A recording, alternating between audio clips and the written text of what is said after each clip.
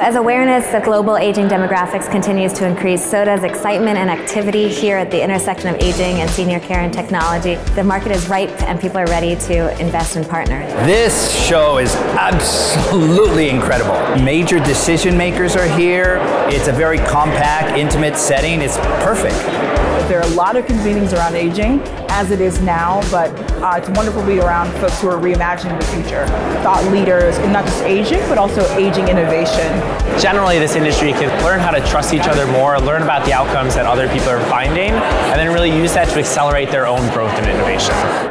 We know that baby boomers are aging now. They're going to be a huge part of our population, and it's just a matter of time before everyone has to be innovative. Aging 2.0 has always been a global organization. We have chapters uh, around the world, uh, all run by volunteers. We're starting to see cities and regions really step up and have conversations with our Aging 2 chapters and getting much more integrated. Technology can play a very compassionate role in improving the quality of care as well as improving efficiency. That's, I think, where Aging 2.0 can really, really help.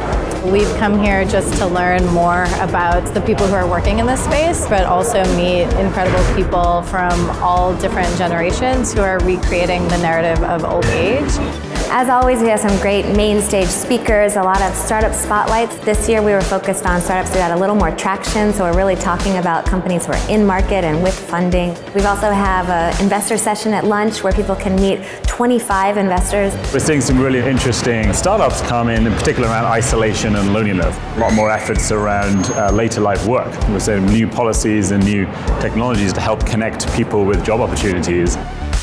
As part of our ongoing Grand Challenges initiative, in 2019 we're again going to pick two topics to focus on, care coordination and engagement and purpose. Here at Optimize, we've got the right people in the room who can really take things forward and sort of think differently.